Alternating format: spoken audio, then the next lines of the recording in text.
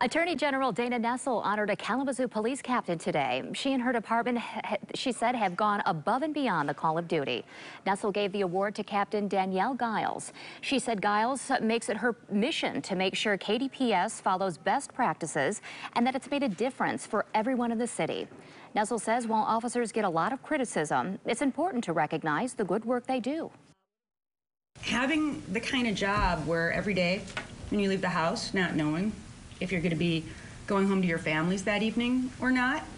Uh, and knowing that there are other jobs that you could do that would be easier and less pressure, uh, but you you decide instead to serve your communities, and and you do it through thick and thin. You do it through good weather and bad, uh, and you do it in um, in times where it feels like the police are getting a lot of support, and times when people are hating on you. I mean, and we need you. The Above and Beyond Award goes to officers and other people who are recognized by their departments.